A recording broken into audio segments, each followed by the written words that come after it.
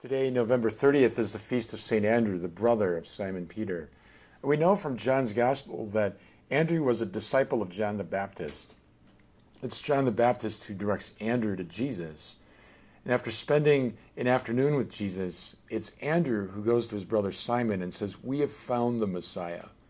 So it's Andrew who brings his brother Simon to the Lord and introduces them. And we know certainly that Simon Peter takes on a much more prominent role in leadership and the church than Andrew did. So we have to wonder, you know, did Andrew feel any pangs of jealousy? You know, it's like he's the one that introduced his brother to the Lord, and his brother becomes seemingly the more important person.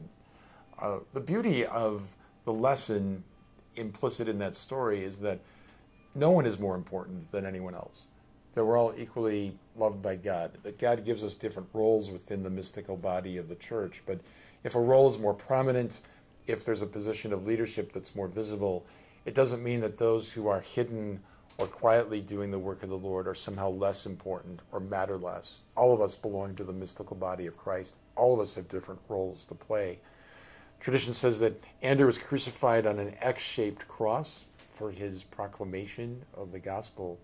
And it reminds us that all those apostles really died um, because of the lack of religious freedom.